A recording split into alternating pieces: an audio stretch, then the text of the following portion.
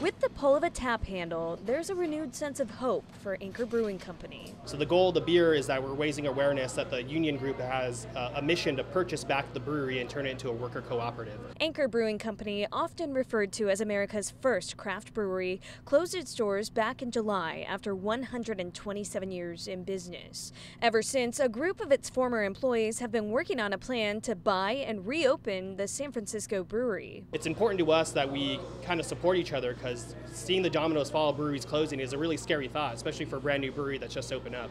But in the end, they're not our competitors. They're people that we look up to and they're an inspiration. That's why newlyweds Felipe and Wendy Bravo, co owners and co founders of Foxtail Fermentation Project, based out of San Jose, came up with a Solidarity Ale. It's based off of California Common, the steam beer that made Anchor famous, with 100% of proceeds going to the Anchor Union. One person, one, one small company, one one individual on their own just like really can only do so much. But together, like when people form together, when people have unions, when people stand together, there's a lot of power. And that's what this, you know, all represents. And so far, the response super refreshing, yeah. Has been nothing short of positive, bringing in customers like Virginia Thornton to raise a glass of solidarity. I'm so glad somebody's doing it. And if somebody's doing it, like, we got to show up and support.